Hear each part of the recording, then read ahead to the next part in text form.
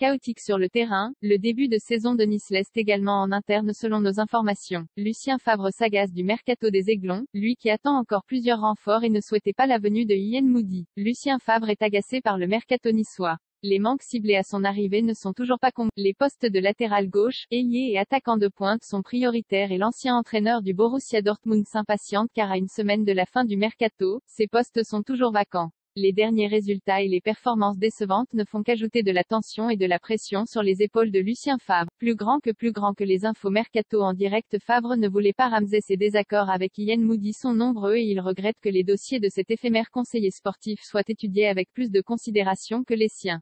Le cas des Aaron Ramsey en est le parfait exemple, Favre ne voulait pas mais Moody a fait en sorte de l'avoir. Preuve du manque de profondeur dans l'effectif niçois, Lucien Favre s'oppose au départ de Flavius Daniliuk, approché par des clubs de Serie A, tant qu'il n'a pas de remplaçant. Son retour à l'OGC Nice a été motivé par la présence des Ineos et de son importante surface financière.